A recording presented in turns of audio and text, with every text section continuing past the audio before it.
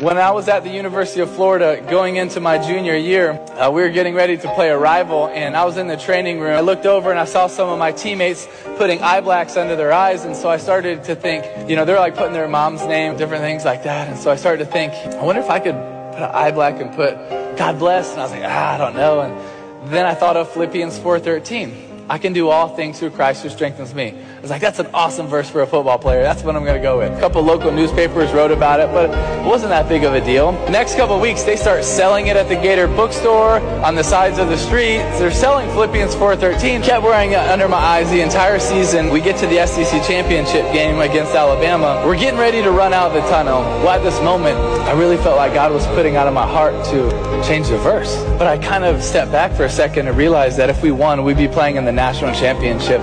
And that would be maybe the biggest stage that I would ever get to, to change the verse and put something meaningful on there. So we were blessed to win. In the next six weeks leading up to the national championship game, I was contemplating, really agonizing over what verse I was going to go with.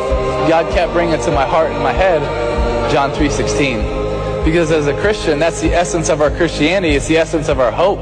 For God so loved the world that he gave his only begotten Son, that whosoever believes in him will not perish but have everlasting life. That's what we believe in as Christians.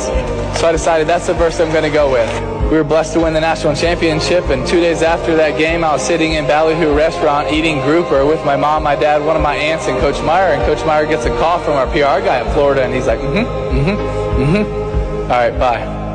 I looked at him, I was like, what's that all about? He said, Tim, he just told me that during that game, 94 million people Google John 3:16. Like really how big the God that we serve really is. So many times we put him in a box. The God that loves us, the God that created us, the God that has a plan for us, the God that wrote a poem about your life. He is a big God that wants to do amazing things. And when we just turn around and say, "Hey, here God, might not feel like a lot. Guess what? He can perform miracles. He can do amazing things. And I really believe the God that we serve wants to do amazing things in us and through us.